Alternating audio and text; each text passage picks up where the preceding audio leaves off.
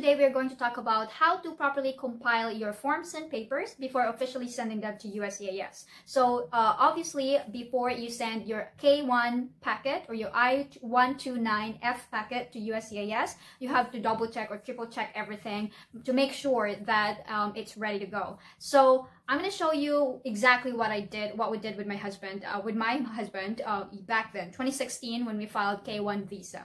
So this is the original submission that we have. Anything I did with USCIS, anything dealing with US immigration, whatever paper, receipts, documents I received from them, I keep them with me um, since 2016. So I have a hard copy and I also have a duplicate copy. And I'd like to share with you guys the things that I do to make sure that I have copies of everything and how I keep it. So before we send our K1 visa packet, um, this is the original form. So I'll show you. We only put it in an envelope, uh, in a folder. We compile everything in one folder. We have all the forms and papers in one folder and we use a paper clip. So it depends on how thick your forms and papers are. So definitely if it's a thick, uh, thicker than these, then you can use a bigger version of a paper clip. Or if it's thinner than this, then you can use like a, a very small version of the paper clip. So this is how we did it. We only piled them up in a folder and after having everything in the folder, we use this brown envelope. We call it clasp envelope, but some people also call it manila envelope. But it has, a, this one is broken. They usually has like a clip on it so you can um, secure and kind of close it like that and then put a clip on it. So, but this is the one that we did last time we filed our K1 visa.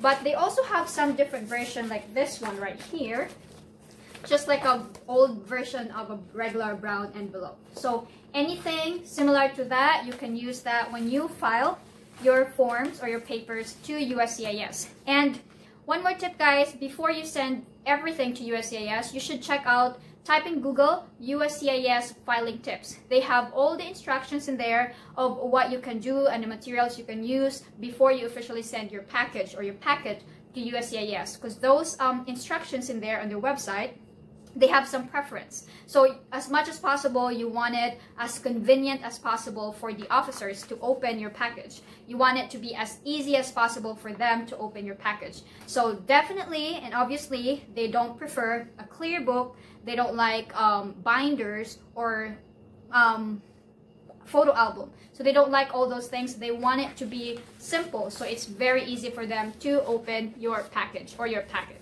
So this is what we did put it in a folder, clip them with a big, whatever you have, paper clip or a, a, a bigger version, what, I don't know the official name, but I call it paper clip and you also have like a bigger version if it's too thick, you can do that.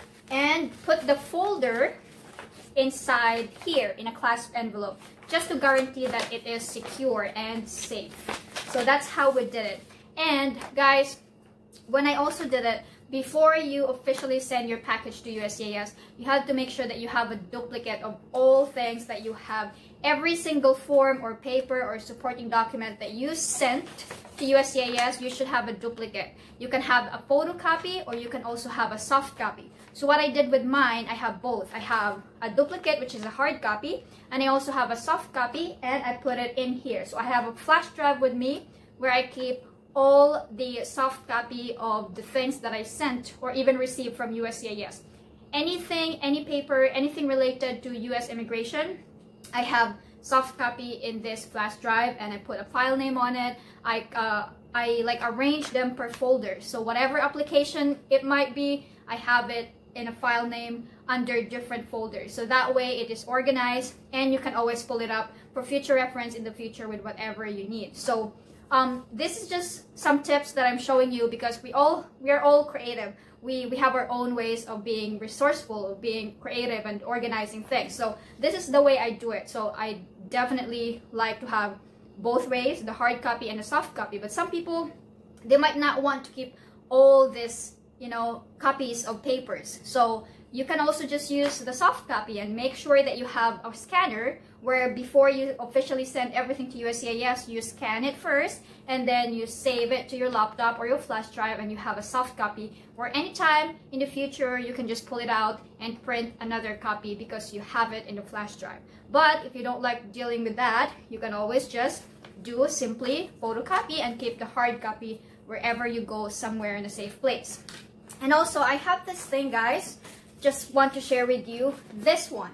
I had this since I was in college. Anything paper, I keep it in here. Um, things that are important, like any personal documents, I have it in here. And inside it are like different types of folders. So let's say this pink folder, I have it for a different purpose of different types of documents.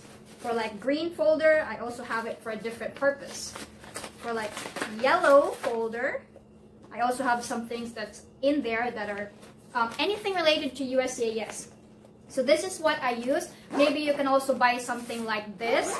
It's very durable. Is that the right term? Durable. It's heavy duty. It's like a thick plastic and then it's like fabric on the side.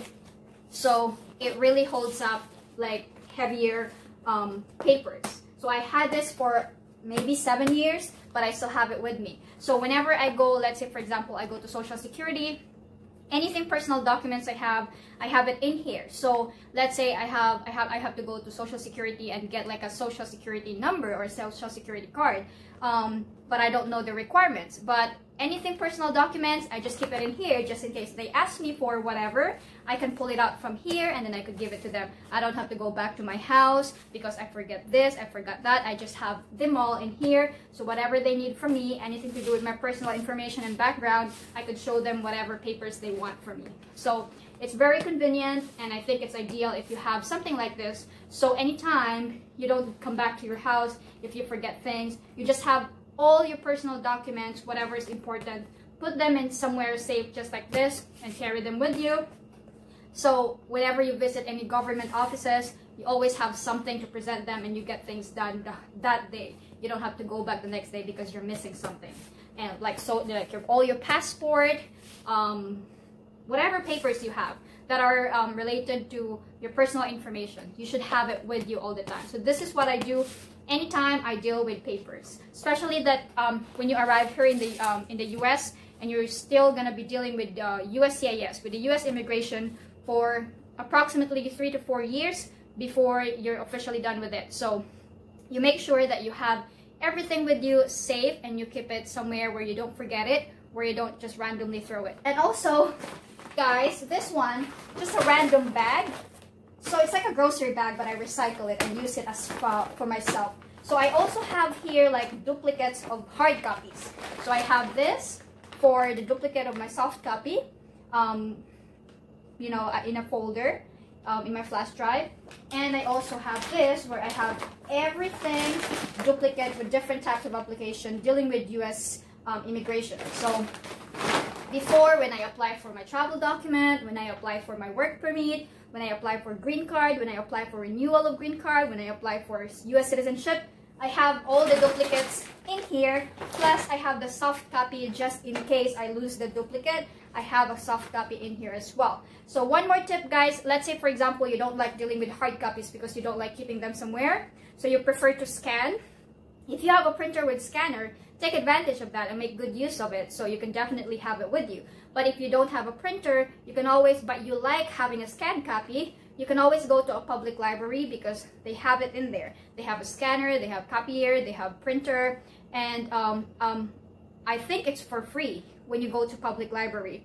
The only thing that's not for free is when you print something, but that's only cost you like 25 cents or 50 cents per per per print.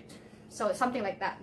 So you have some ways to do it. So because we're all different. Some people, they like to have actual papers with them. Some people, they're kind of modern and they just want to carry something like this where they don't have to deal with any um, hard copies of papers. So whatever you prefer, you make sure that you have you have it with you just for future reference because when you arrive in the US you're not gonna have you still have many years a few years or even four years to deal with US immigration so anything papers that you receive from USCIS or you send to USCIS, you have to make sure that you have it all um, arranged, you have it all um, properly compiled somewhere. So when USCIS needs it from you someday, you can always pull it up and you know send to them if they want it. Any any occasion that might be possible that you would need it, so you could have it. Just to avoid headache, just to avoid problems. And when you are, let's say for example, you prefer the soft copy and you save it in a flash drive. One more tip, guys. I've learned it in college. Um, so when you save your soft copy, like uh, I don't know if you set you save it as PDF or you save it as um, JPEG or as picture. So what I do is I both I do as picture and I also do as PDF. So whatever format you prefer, it, it works both ways. You can do as picture, which is the JPEG, and or is that PNG as .png or .jpeg or .pdf, whatever is the format. Make sure that you put them all in different folder. So let's say if you're if you are uh, applying for travel document, you can make a name out of it in a folder, say travel document, and all the personal documents that you have in a travel document. And then another folder separately for, let's say, work permit. So exclusive, just anything related work permit. So another folder travel document, separate folder for um, work permit, separate folder for green card. So you have organized things of like the papers or the copies that you can easily find in your laptop or in your flash drive.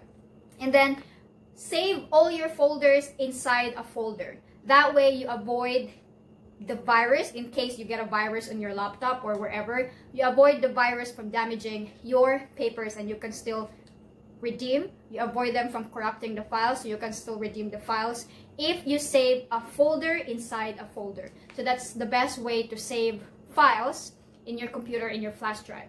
So make sure that you save a folder inside a folder to protect your file from being corrupted with virus just in case. So that's how I do it. So I hope you understand what I'm saying. I'm sure you do because most of us deal with computers. So um, I'm sure you do get what I'm saying. So hopefully that works for you guys. Whatever works for you, um, you can do hard copy, you can do soft copy, but for me, I highly recommend to do both since if you have the resources, then just go ahead and do that. If you have the printer with scanner, take advantage of it. If you don't have it, but you would like to have some, go to a public library because it's for free. You only pay for uh, the things that you are, are going to print, but it's very cheap. And then if you don't like the soft copy, then just go for the hard copy. Just make sure you keep them somewhere safe. And do not forget um, your papers. So when you're moving, you always keep them with you. So that's it, guys.